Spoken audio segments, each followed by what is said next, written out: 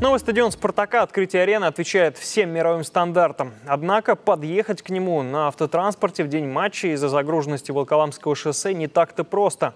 Подробнее в сюжете у Кирилла Планкина.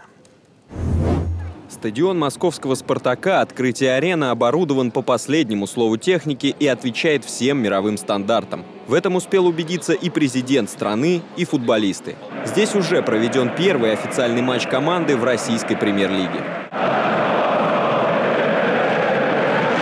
Трибуны спорткомплекса вмещают 45 тысяч мест, которые расположены под крышей и комфортны для зрителей. Овальная форма арены обеспечивает хороший обзор из любого уголка трибун. Тем не менее, стадион оборудован двумя видеоэкранами, на которых регулярно крутят повторы опасных моментов и забитых мячей.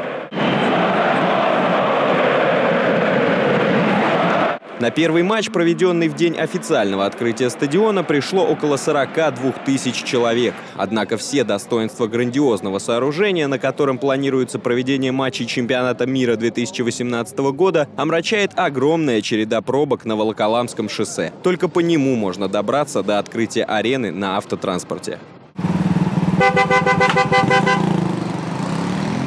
А в дни проведения матчей длина заторов увеличивается в разы. Власти столицы запланировали построить специальную развязку, чтобы увеличить пропускную способность трассы в районе стадиона.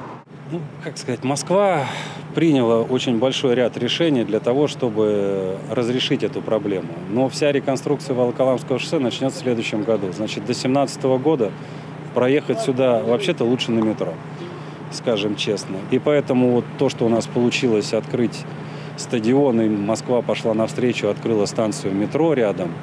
Это как бы тоже они в той конве и действовали. Станция «Спартак» в дни матчей работает только для выхода пассажиров. Тем самым власти стараются избежать давки после окончания спортивных мероприятий на стадионе. Кирилл Планкин, Life News.